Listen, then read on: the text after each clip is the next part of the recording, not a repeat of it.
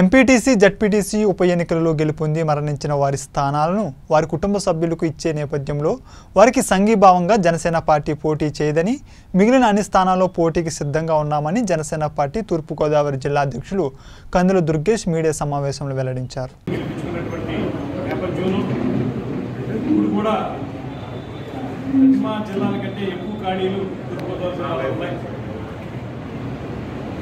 ఎక్కువ మండలానికి సంబంధించి మొత్తం పన్నెండు ఎంపీటీసీలకు కూడా ఎన్నిక జరుగుతూ ఉంటుంది ఈ నేపథ్యంలో చరిత్రాత్మకమైనటువంటి కాకినాడ కార్పొరేషన్కి సంబంధించి నాలుగు ఖాళీలు ఏర్పడ్డాయి నాలుగు చోట్ల కూడా ఎంపికైనటువంటి వారు మరణించినటువంటి నేపథ్యంలో ఆ ఎన్నికలకి నోటిఫికేషన్ చేసుకోవడం జరిగింది.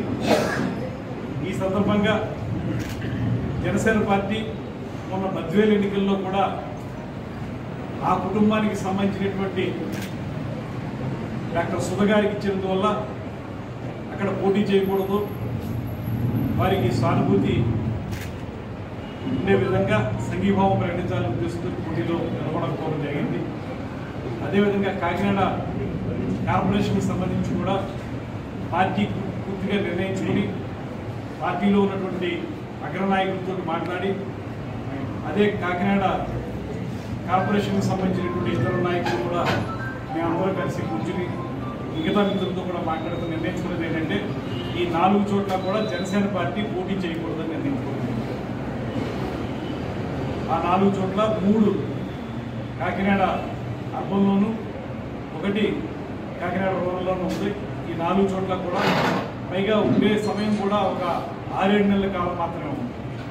ఇక మిగిలిన కార్పొరేషన్ పదవి కాదు అందువల్ల ఆ నాలుగు చోట్ల కూడా పోటీ చేయకూడదని నిర్ణయించడం. వారు కూడా అక్కడ చనిపోయిన వారి కుటుంబాలకు సంబంధించిన వ్యక్తులకే సీట్లు ఇచ్చారు కనుక వారికి సంఘీభావం ప్రకటించాలనేటువంటి ఆలోచనతో అక్కడ పోటీ అయితే ఇతర స్పష్టంగా పోటీ చేయడానికి సిద్ధంగా ఉన్నాం. కొన్ని చోట్ల స్థానికంగా వాళ్ళు మాట్లాడుకుని అక్కడ ఎవరైనా ఈ రకమైనటువంటి వారి కుటుంబంలోనే చనిపోవటం చనిపోయిన చోట వారు ఆ కుటుంబం నుంచి అభ్యర్థులు నిలబెట్టినట్లయితే అక్కడ స్థానికంగా ఆలోచించుకుని ఏ రకంగా ముందుకు వెళ్ళాలనేది స్థానిక నాయకత్వానికి అప్పగించడం జరిగింది.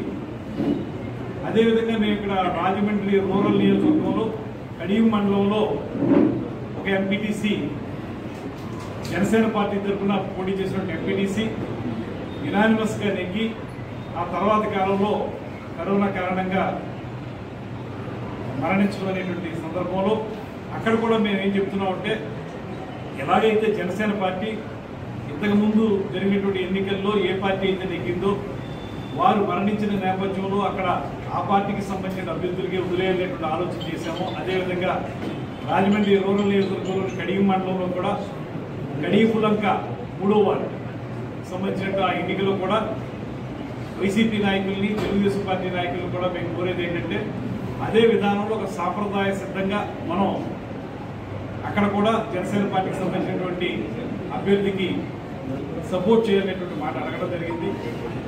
అయితే వారు ఎంతవరకు ముందుకు వస్తారనేటువంటి విషయాన్ని చూడాలి. ఒకవేళ పోటీ ఉంటే కూడా మాకు అభ్యంతరం లేదు.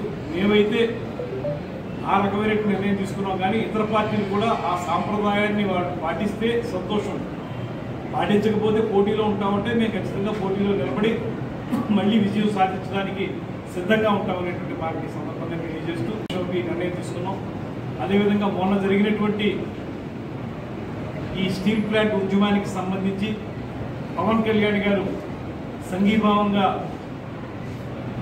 ముప్పై ఏడో తారీఖున జరిగినటువంటి సమావేశం కానివ్వండి ఆ తర్వాత జరిగిన పరిణామాల్లో కానివ్వండి పెద్ద ఎత్తున ప్రజలు జనసేన పార్టీ వెనకాల ఉన్నట్టుగా స్పష్టమైంది. తక్కువ సమయంలో సమాచారం ఇచ్చినప్పటికీ కూడా భారీ ఎత్తున ఆ స్టీల్ ప్లాంట్ ప్రాంతంలో హైవేకి ఆనుకుని జరిగినటువంటి ఆ సమావేశంలో లక్షలాది మంది జనం పాల్గొనడం అదేవిధంగా ఈ కార్యక్రమంలో మొట్టమొదటి నుంచి కూడా జనసేన పార్టీయే ప్రధానంగా పవన్ కళ్యాణ్ గారే ఎప్పుడైతే ఈ స్టీల్ ప్లాంట్ని ప్రైవేటైజ్ చేయాలనేటువంటి మాట వినపడిందో అప్పుడు వెంటనే అమిత్ షా గారిని కలిసి ఇది ఏదో ఒక ఫ్యాక్టరీగా మాత్రం చూడొద్దు. ఇది ప్రజల యొక్క మనోభావాలకు సంబంధించినటువంటి అంశం. అందులోనూ రమారమి ముప్పై రెండు మంది ప్రాణత్యాగాలతో వచ్చినటువంటి ఫ్యాక్టరీ ఇది. ఇది ఆంధ్రుల హక్కు అదేవిధంగా జయాంధ్ర నినాదం ఇమిడి ఉన్నటువంటి అంశం కాబట్టి దీన్ని ప్రైవేటైజ్ చేయొద్దు పునరాలోచించండి అనేటువంటి మాట మొట్టమొదటిగా చెప్పినటువంటి పార్టీ జనసేన పార్టీ మొట్టమొదటిగా చెప్పినటువంటి నాయకుడు పవన్ కళ్యాణ్ గారు.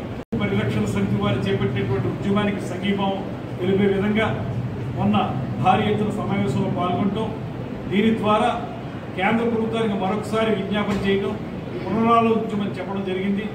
అయితే దీంట్లో ప్రధానమైన బాధ్యత అధికారంలో ఉన్నటువంటి వైఎస్ఆర్ కాంగ్రెస్ పార్టీ. వాళ్ళు గతంలో కూడా ఏం చెప్పారంటే మాకు ఇరవై ఐదు ఎంపీలు ఇవ్వండి ప్రత్యేక హోదా సాధిస్తామని చెప్పారు. ఇంచుమించుగా ఇరవై రెండు మంది ఎంపీలు వచ్చారు.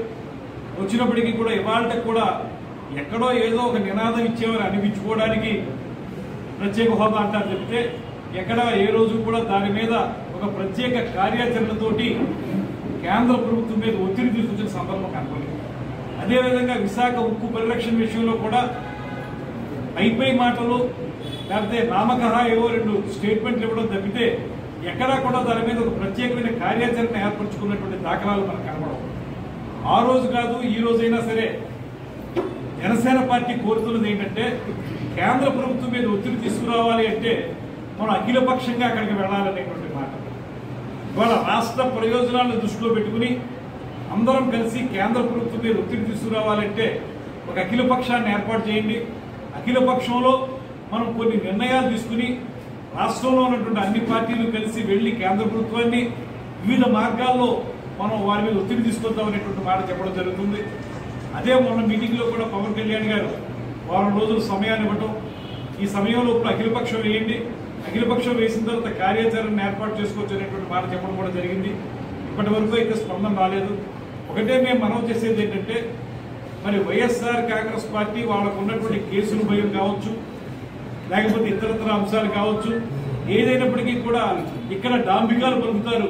అక్కడికి వెళ్ళేటప్పటికి కేంద్ర ప్రభుత్వంతో ఎక్కడా కూడా తమకు ఉన్నటువంటి శక్తిని ఉపయోగించి ఒత్తిడి తీసుకొచ్చే ప్రయత్నం చేయరు అది ప్రత్యేక హోదా కానివ్వండి ఈ రాష్ట్రానికి రావాల్సిన రెవెన్యూ లోటు విషయం కానివ్వండి లేకపోతే వారు సాధించలేనటువంటి ఒక అచేతనత్వమైనటువంటి పరిస్థితుల్లోకి వెళ్ళిపోయినటువంటి వైఎస్ఆర్ కాంగ్రెస్ పార్టీకి మళ్ళీ ఇంకోసారి చెప్తున్నాం ఇప్పటికైనా ఈ రాష్ట్ర ప్రయోజనాలను దృష్టిలో పెట్టుకోండి. అవసరమైన నేర ప్రతిసారి కూడా మీరు ఎక్కడైనా ఏదైనా కీలకమైన అంశం వస్తే పైనేమో అనుకూలంగా ఓటేస్తారు. ఇక్కడికి వచ్చి మాత్రం మేము కేంద్ర ప్రభుత్వం మీద ఒత్తిడి తీసుకొస్తున్నా ఉంటాం. మీరు ఈ రాష్ట్రానికి రెండున్నర సంవత్సరాల కాలంలో మీరు సాధించి తీసుకొచ్చినటువంటి ప్రాజెక్టులు ఉన్నాయి కేంద్ర ప్రభుత్వం ఆ రోజు మనకి రాష్ట్ర విభజన సమయంలో ఇచ్చినటువంటి హామీల్ని ఏ మేరకు అమలు చేసిందనేటువంటి విషయంలో మీరు చేసిన పోరాటం ఏముంది? ఎక్కడా కూడా ఏ రోజు కూడా ఆ రకమైనటువంటి పోరాటం కానీ ఆ పందాలో కానీ వెళ్ళినటువంటి మీరు ఇక్కడ మాత్రం డాంబికాలు పొందుతారు. ఎప్పుడైనా పవన్ కళ్యాణ్ గారి అంశాల మీద మాట్లాడినప్పుడు మాత్రం మీరు వెంటనే వచ్చి దానికి సమాధానం చెప్పరు దానికి సమాధానం చెప్పడం మానేసి పవన్ కళ్యాణ్ గారిని వ్యక్తిగతంగా దూషించేటువంటి కార్యక్రమాలు చేపడతారు స్పష్టంగా మేము చాలాసార్లు చెప్తున్నాం. ఏ రకమైన విధానపరమైన నిర్ణయం అయినా ఆ మంత్రిత్వ శాఖకి చెందినటువంటి మంత్రులు మాట్లాడాల్సి వస్తే వారు మాట్లాడరు కానీ ప్రతిదానికి సజ్జల రామకృష్ణారెడ్డి గారి చేత మాట్లాడిస్తారు. పవర్ అంటే సజ్జల రామకృష్ణారెడ్డి గారు మాట్లాడతారు. ఇసుక అంటే సజ్జల రామకృష్ణారెడ్డి గారు మాట్లాడతారు. ఏ అంశమైనా సరే ఇక అంతకాడికి ఈ మినిస్టర్లు ఎందుకు ఎమ్మెల్యేలు ఎందుకు? ప్రజల నుంచి నెగ్గినటువంటి ఎమ్మెల్యేలు మంత్రులైన వాళ్ళు మీ మీద ఎన్నో ఆశలతో ప్రజలందరూ ఎదురు చూస్తుంటే ఏ విధానపరమైన నిర్ణయానికి కూడా మీరు ఏనాడు స్పందించరు. అది సజ్జన రామకృష్ణారెడ్డి గారి బాధ్యత అన్నట్టు ఆయన మీద వదిలేస్తారు. ఆయన ప్రభుత్వం నియమించుకున్నటువంటి ఒక సలహాదారు.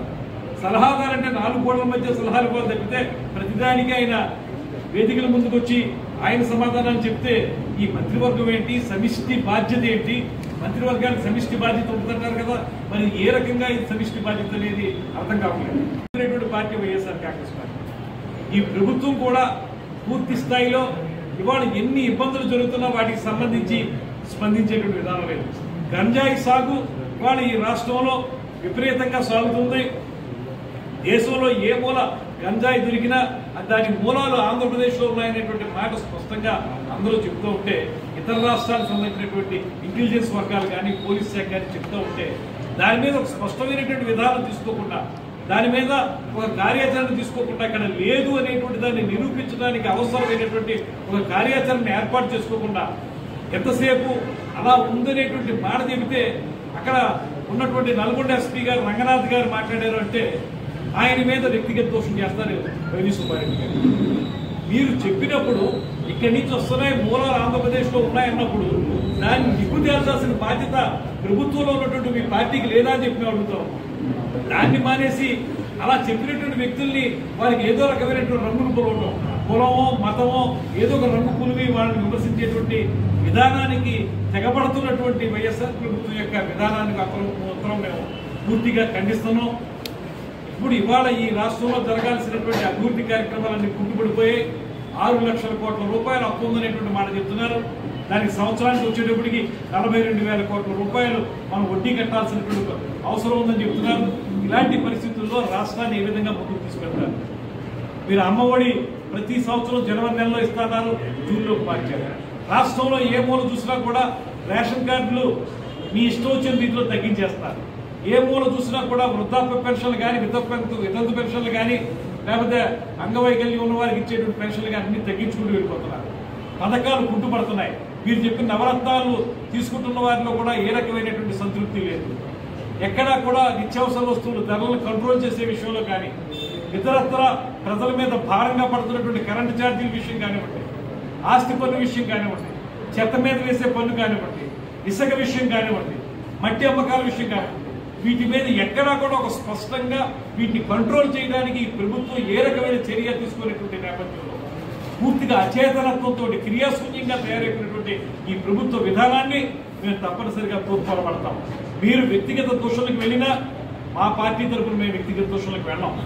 ఖచ్చితంగా మీ మంత్రుల చేత కులానికి ఒక మంత్రి చేత మీరు నోటికొచ్చిన తిట్టించినా కూడా మేము ఎట్టి పరిస్థితుల్లోనూ ఆ రకమైన విధానానికి వెళ్ళడం విధానపరమైన నిర్ణయాల మీద మా ప్రశ్న ఉంటుంది ఆ ప్రశ్నకి సమాధానం చెప్పాల్సిన బాధ్యత మీ మీద ఉంటుంది ఆ బాధ్యత మీరు చేపట్టకపోతే చరిత్రహీనులుగా మిగిలిపోతారనేటువంటి మాట ఈ సందర్భంగా తెలియజేసుకుంటూ ఈ స్థానిక సంస్థల ఎన్నికల్లో కూడా ఎక్కడైతే ఎన్నికలు జరుగుతున్నాయో మున్సిపాలిటీలు కానీ కార్పొరేషన్కి కానీ ఎన్నికలు జరుగుతున్న ప్రతి చోట మేము పూర్తి స్థాయిలో పోటీ చేస్తాం. గతం కంటే ఎక్కువ స్థానాల్లో మేము నెగ్గేదానికి అవకాశం ఉంది. ప్రజలకి ఇవాళ జనసేన పార్టీ పట్ల మక్కువ ఏర్పడింది. ఒక నిజమైనటువంటి ప్రత్యామ్నాయ శక్తిగా జనసేన పార్టీ ఎదిగిందనేటువంటి భావన ప్రజల్లో ఉంది కనుక ప్రజలు ఆమోదంతో మమ్మల్ని నెగ్గిస్తారు నమ్మకం ఉంది. కాకినాడ కార్పొరేషన్ వరకు మాత్రం ఈ రకమైన నిర్ణయం తీసుకున్నాం అనేటువంటి పార్టీ సందర్భంగా తెలియజేస్తూ